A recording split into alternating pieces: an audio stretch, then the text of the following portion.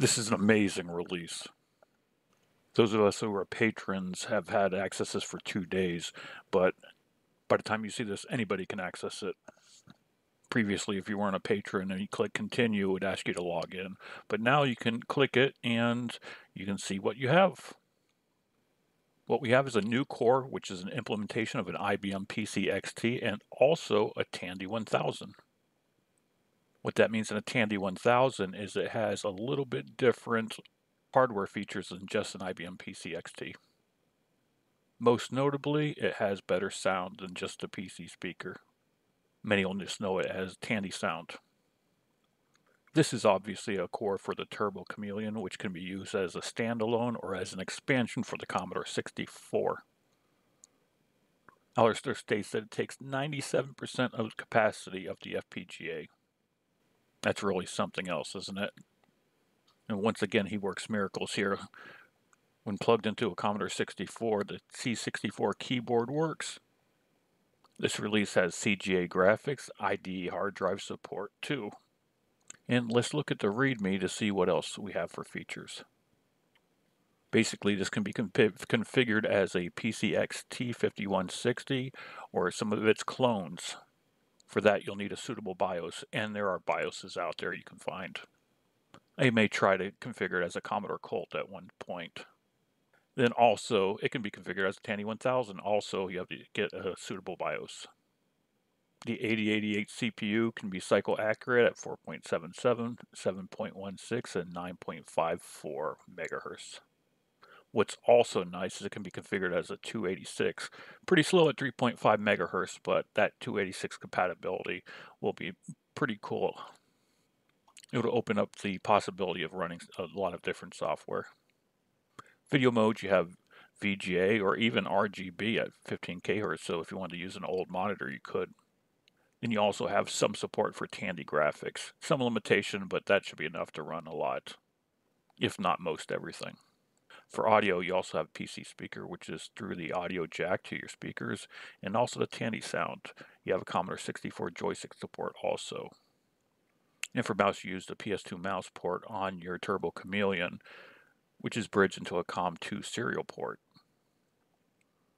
This is interesting to me because I'm wondering if we can repurpose this at some point for an actual serial point. Let me try that.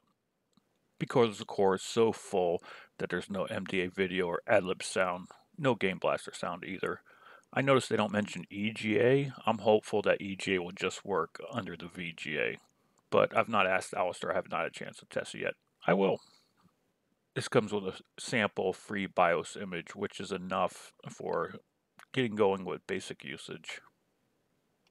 You can check this all out if you're going to set it up yourself. I'm just going to go over and uh, demonstrate something real quick. I'll see you in a minute. All right, let's load the core, look at DOS, and load up an old CGA demo, see how it looks.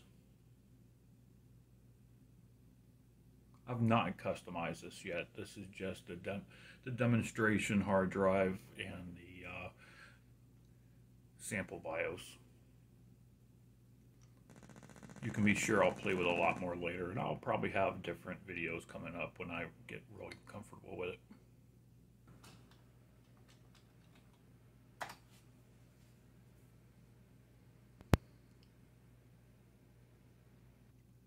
Let's see what demos we have.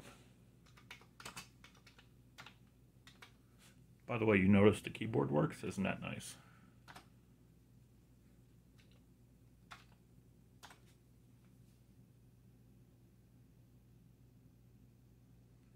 All right, why don't we try out Area 5150? That should stress it.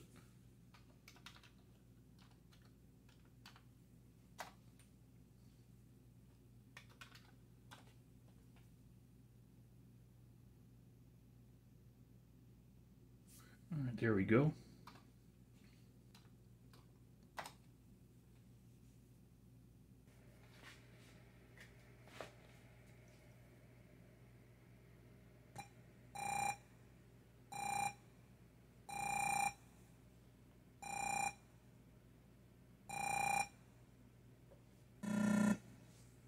Yeah.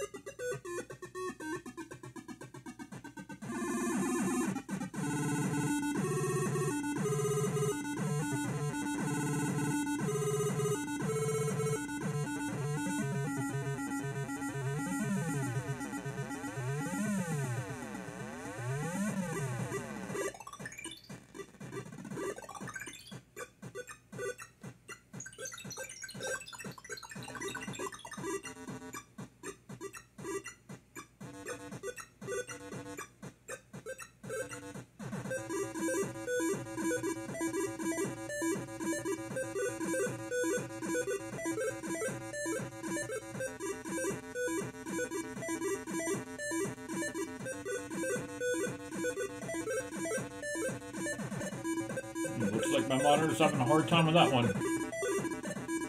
That's a good place to cut it off. It's a nice multi-sync monitor, but it sometimes has problems with some things, and that may be happening there. So I might even break out the CRT VGA monitor. We'll see. And there's a lot to play with in there. This core was ported to the Turbo Chameleon by Alistair from a MiSTer core. If you appreciate ports like this, go over to Cores for Chameleon and give Alistair some love. If you're not a patron, consider it. I'm not affiliated with him, I'm just a patron myself, and I really appreciate his work. I use it heavily. Patrons over there get early access two days before. Anyhow, enough preaching. If you like this video, please click like and subscribe.